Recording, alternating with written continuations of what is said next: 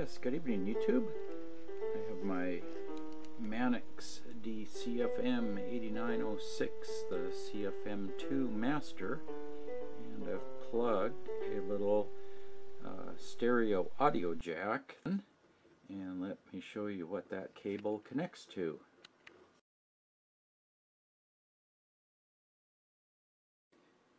Okay, so this is a little bit of a wiring mess here, but I've got the left audio jack here. And just for the time being, I'm using an LED and a pull-down resistor, current limiting resistor, just so I can see what's going on. So I've got the LED positive side hooked to the shield of the left cable. Then I've got the resistor running to the green wire which goes to the ground of a DB9 serial cable.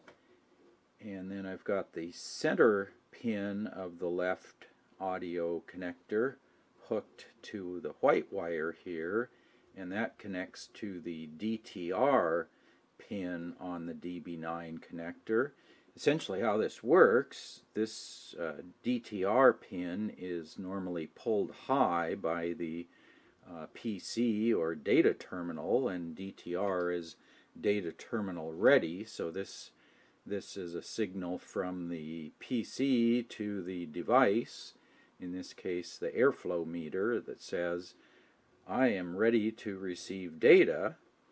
And then this uh, the shield connector is hooked to the output of a transistor inside the airflow meter and that transistor is being switched on and off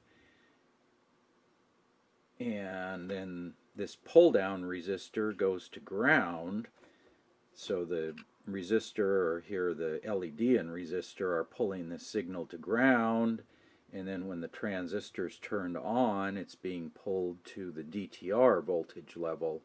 So you've got your high pulse and this gives you the low pulse. Yeah so here's the oscilloscope showing the output. We've got uh, sitting down at ground and then every once in a while you get a pulse of ASCII data.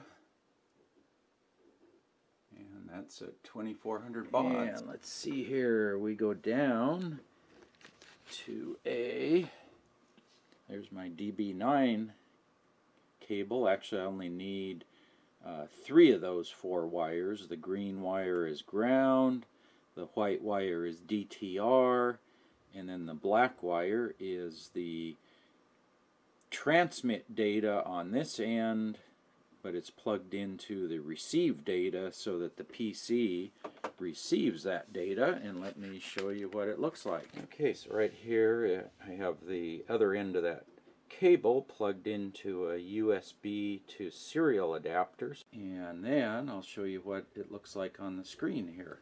Okay, and here I have uh, PuTTY running, uh, COM3 which is the USB to serial adapter and I'm running 2400 baud. The meter can also output 1200 baud and here you can see it's reporting uh, temperature is 19.8 degrees C and the velocity is 0.0 meters per second and let me go blow on the meter and see if we get a speed reading.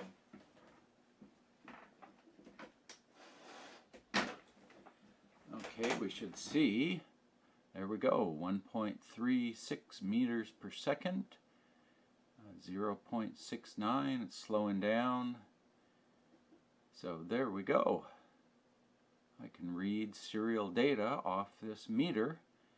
I should be able to simplify this uh, connector down to a single 2200 ohm resistor according to what I've found online and then three wires in a DB9 connector and that seems to be the key to getting data out of this device. It just keeps sending data. Well, basically all the meter is doing is just turning an output transistor on and off. And if you hook up DTR as, as a source of power, and you hook up ground off of the DB9 connector the and then put a pull down resistor between ground and the transistor output it's switching between the DTR voltage and ground getting you your serial pulses. So that looks like we have data